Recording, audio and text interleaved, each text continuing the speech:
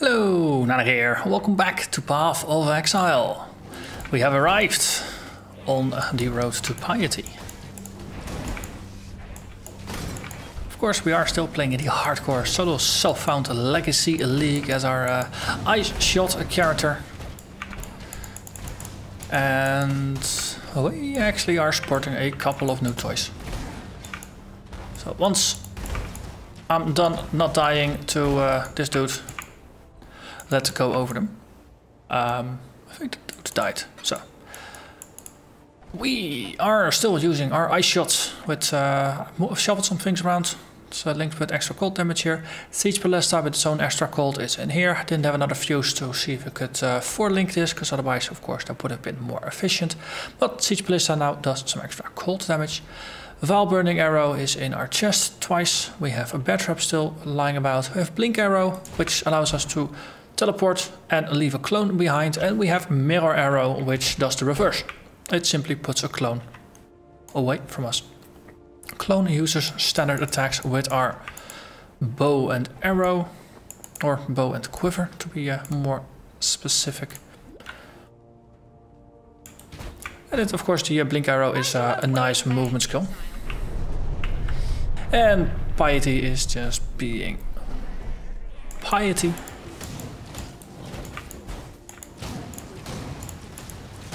So Blink Arrow is just a, it's a nice movement skill. It's not the fastest in the world, but of course once we get some faster attacks, uh, it should trigger faster. But before that, it's, it's, it's like a leap slam. No, it, it allows us to teleport over obstacles. And it even leaves a clone behind, which does some damage, it causes some distractions. And because we still have a bunch of uh, open sockets. I figured let's blink, uh, take Mirror Arrow along and just have a little bit of fun with clones while we still can.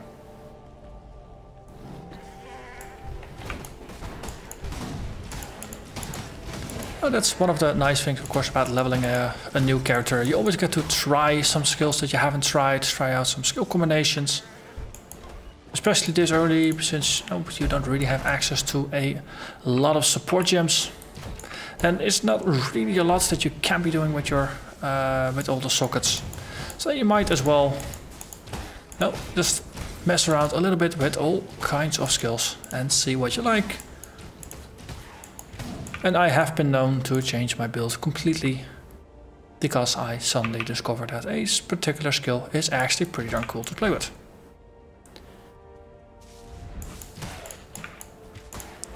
Our damage is currently pretty decent. Most of the time we one-shot enemies, sometimes we need two shots. So of course, making it slightly, slightly higher will help quite a bit to just guarantee those one-shots. But for now, 83 DPS with a... With, but it's just a single link. Uh, that's pretty decent.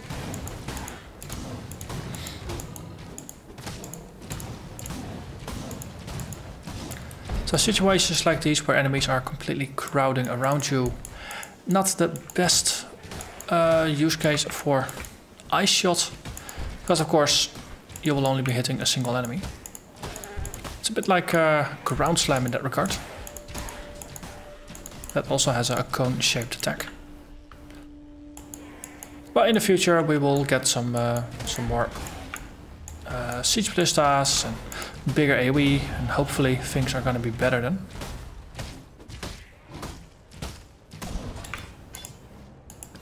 Okay. Let's have a look, and more points. Okay, and the extra damage conversion is kicking in, so now we're converting 80% of our physical damage to cold. Next level, we're gonna convert all of our physical damage to cold, at least on the uh, on the ice shots. And also, I realize we need to be on this side.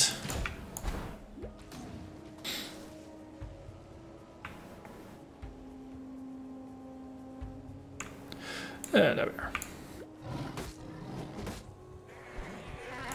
Okay, and they'll be following me, so now we can just abuse that.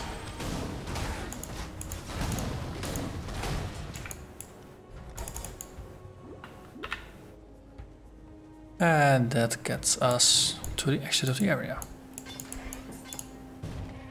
So this area we had a rampage going for us. Next area is gonna be an essence. Leaguestone. No finding a single essence in an area. Generally you walk into that, so that's gonna be pretty cool. And as I said, you're gonna walk into that. This is a strange land. So not being a melee character, we of course want to see if we can extract ourselves from melee range. When possible.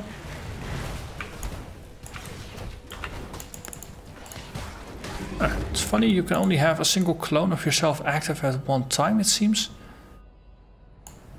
So if you try to combo uh, mirror arrow and blink arrow, then it's not that there's going to be two different clones, there's only going to be a single one. Which, oh, it's an interaction I never actually investigated. Well, seems too bad. See, one disappears, the other one disappeared.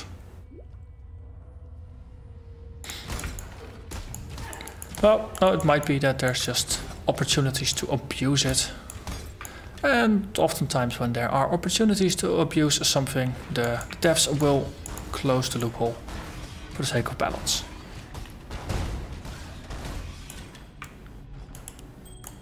Uh, that's only a 20% topaz spring, let's not. So we are looking for the Allflame here and for a Merveil. If we miss the Allflame, that's gonna be fine as well. If we walk into it, we'll do it. We're pretty relaxed about that. And it ignites me. Boo. Probably should have done that the other way around, not blinking myself into combat, but out of combat. Oh, three life gained for each attack. That's useful.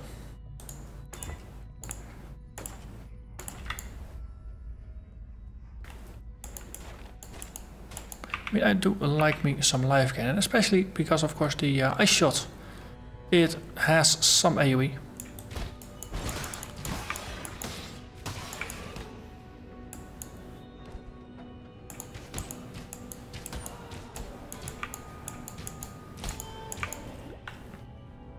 And it's gonna be a little while before we get our uh, duelist leech. So, yeah, getting a little bit of life on hit early on helps, of course, to just stay alive. I don't think there is a, a higher level version of the uh, life on hit. There is a, a, higher level version of the uh, of the damage quiver. But the life on hit, I think this three points of life gained per hit is just about as good as it's gonna get. But of course, with multiple projectiles and AoE, that might, of course, be enough, especially considering that with an archer you're more or less by definition a range build and you will hopefully need a lot less sustain than other classes would.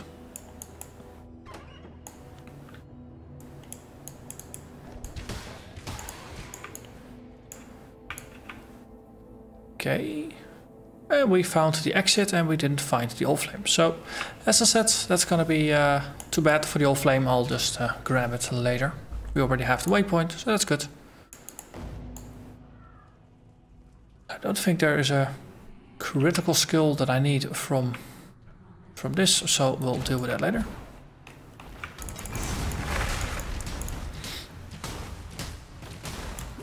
have yourself a bear totem, or bear trap.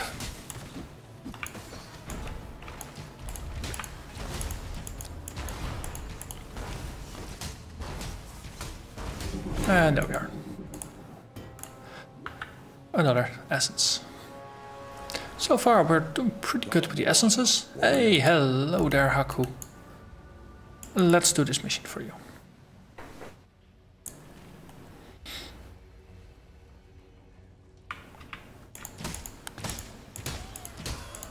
So I saw do fire damage. How are our resists? We are maxed out on fire resistance. Well, that is mightily convenient, I would say.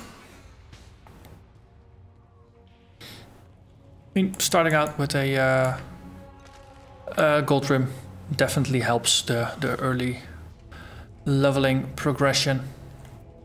Also, maybe we should just go into the correct direction. Oh, it's also a decoy. They're so nicely lined up, I think we should... They just have to be shot. And this gets us the final conversion as well as a little bit of bonus damage. And we now do 94 DPS. Okay, now we go past here. So I don't want to be standing next to the flamethrower. Looks rather painful. And we'll pick up the blade vortex on the way back.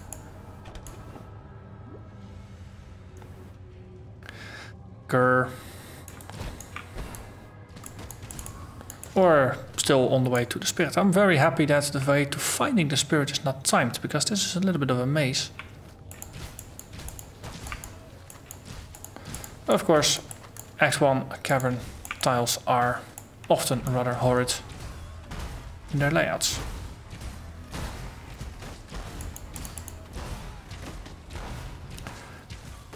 And these enemies, they resist elemental damage and of course you instantly notice it because it takes quite a bunch of shots to kill them.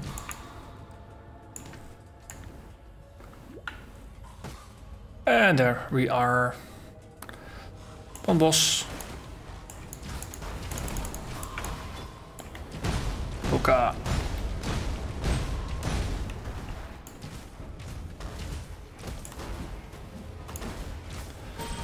Bear Trap actually does quite some spiky damage, that's good.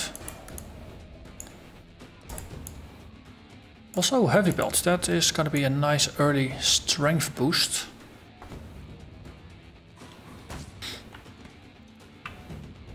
And again, there is no timer on the mission, so getting out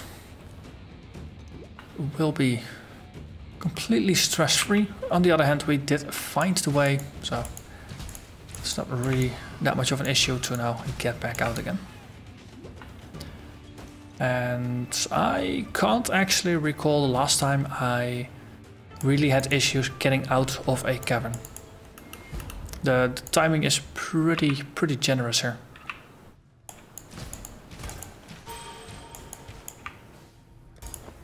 So we're now not doing a physical damage anymore. Let's see, shrine.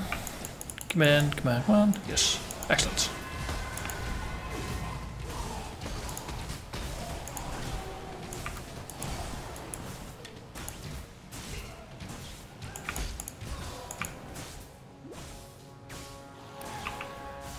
Okay, if I were a Merveil, where would I hide?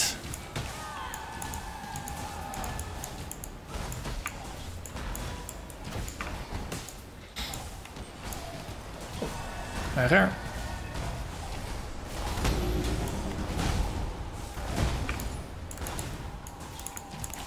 So the uh, burning arrows, now they got three charges, they charge relatively quickly. Also more mana flasks larger mana flasks. Let's actually equip them, just ditch the other ones. It's gonna be good.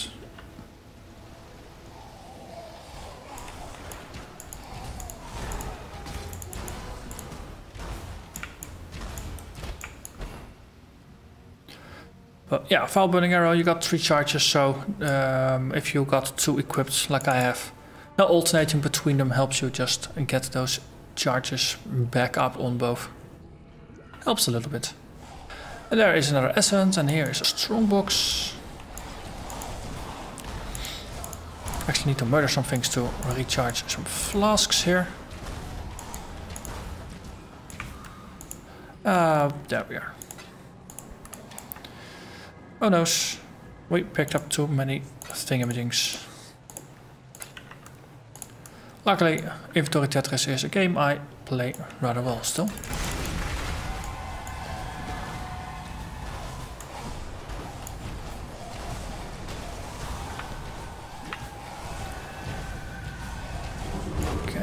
This cold stuff going on, I find myself taking some damage. But again, nothing we can't really handle.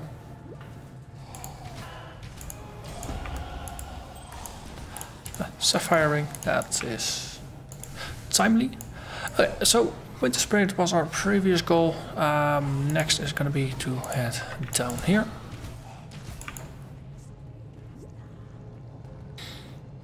Because we want to get ourselves some more, uh, more life. Though 400 life is not quite bad for this stage. I think I faced Merveil with a lot less life. So I think I was checking this. Colt is at 45. Ah, that's okay. Ooh, corrupted area. Negative max resist. Enemies do more damage. Lightning. Sure. Why? Why don't we? Oh, getting more Vaal gems. Always useful. Level 14 area. I am level 14 right now. So we are actually keeping pace with the areas.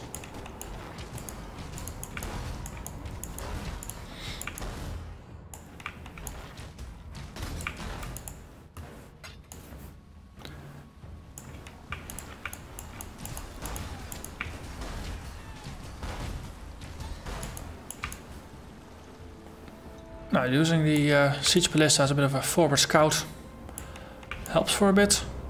Because then it actually has some time to spin up and start shooting at the enemies. Because it does take a little while.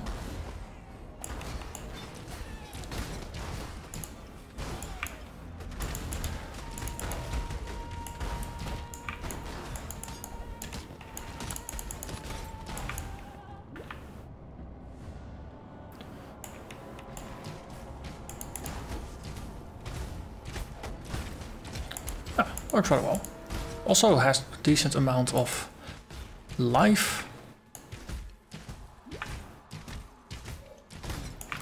Good.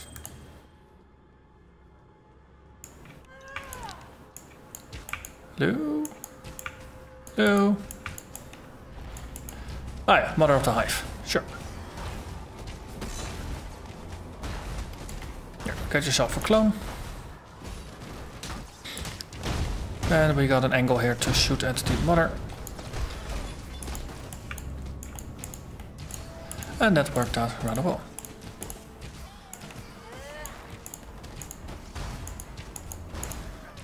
So these corpses, they look a lot like the living ones. It's difficult to see which is which, how alive they all are.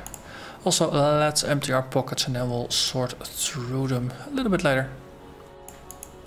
I think we picked up a number of potentially useful items, so oh, might as well hold on to them. Um, ba -da -dum, ba -da I dropped the gem. I shouldn't have. This one is for taking along. Uh, Nessa, yes, skill gems. Reef, rain of arrows, lightning arrow, lightning strike. No, no, we're not gonna use any of them, so Let's just drop that in and let's move forwards.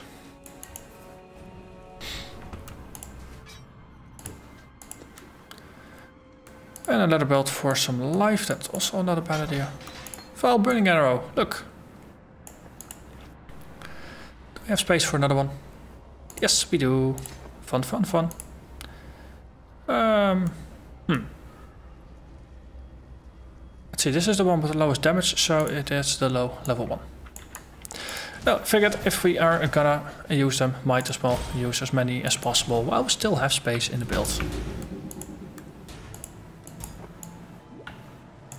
Eventually we will phase them out in favor of more useful skills, but oh, this early might as well Just got more Vaal skills to forget to use, because that's often how it ends up with me.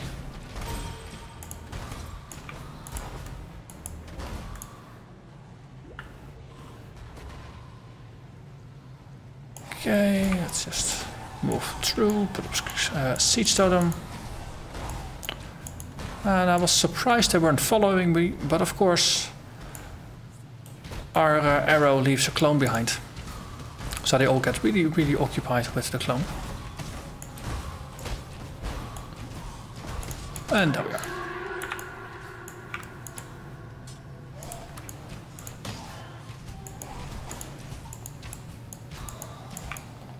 And there we are. I see glittering piles of gold. So that means Merveil is near. Level 14, nearly 15. And Merveil is gonna be 15 herself.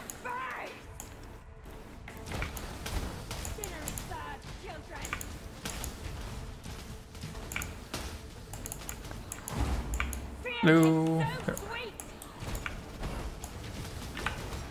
Oh, look. Boom, boom, boom, boom, boom.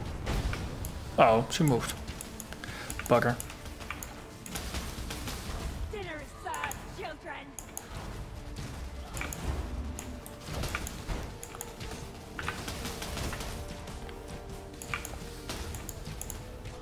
Okay, that was the first stage.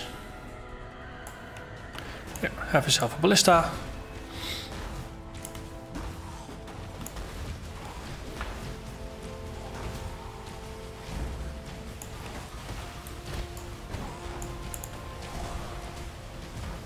For some reason she has a pretty good ability to discern me from my clone. It's doing a lot better than I normally do against the uh,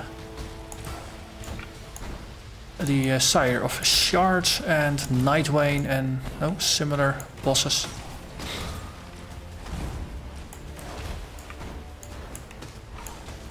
But in the end, Merveil bites the dust. for a man.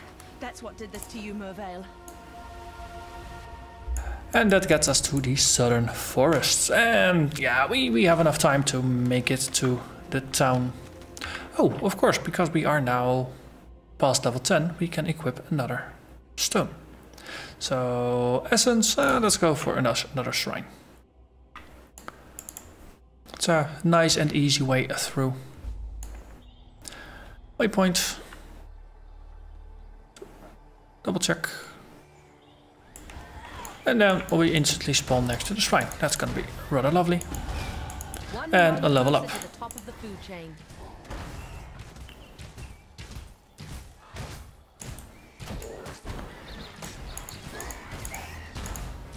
So advancing this quickly through the content. No, our damage is not advancing as quickly as our level is. It takes a little bit of uh, attacking. On the other hand, we're not really scaling our damage. Um, yeah, we're gonna go for a thick skin first, just to make sure we do scale our life. We are on hardcore, and well, unfortunate things happen and I do have a little bit of a habit of getting into content that's maybe slightly more difficult than the content I should be playing. So the more life I have, the more of those silly mistakes I can actually survive.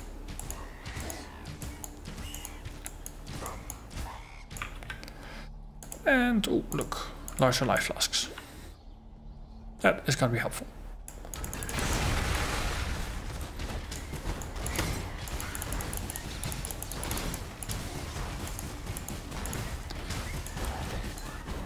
I do find myself in melee range rather often still. I do hope that uh, once we, uh, we get our temporal chains and some faster attacks and our King of the Hill for some knockback, that at least we get a little bit of a firmer grasp on the crowd control situation. Yeah, have uh, a couple of bear traps. Now we'll take a step back here. Didn't really help.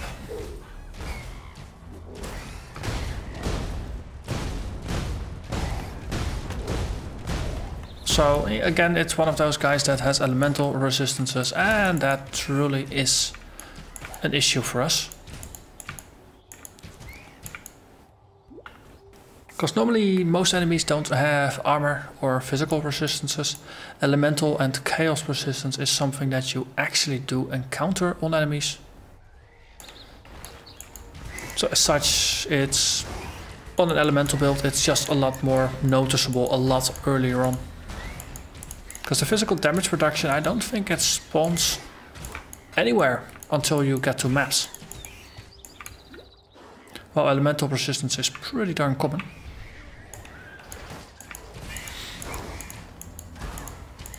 Okay, this works rather well. That's our second flask of today. We are using greater mana, that's good, that means we don't have to upgrade.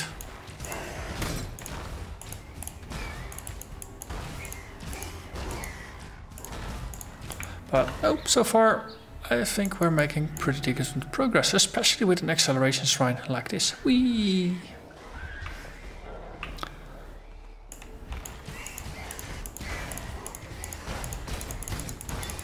Just look at that attack speed. That's much, much better.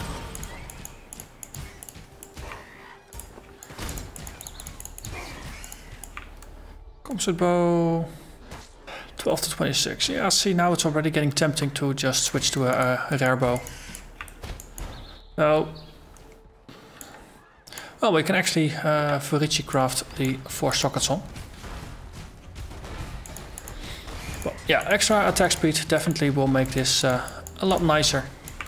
So that's what I want now. Also, don't really care about that.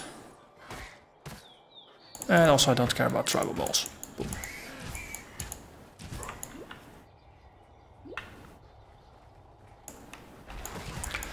Double rare.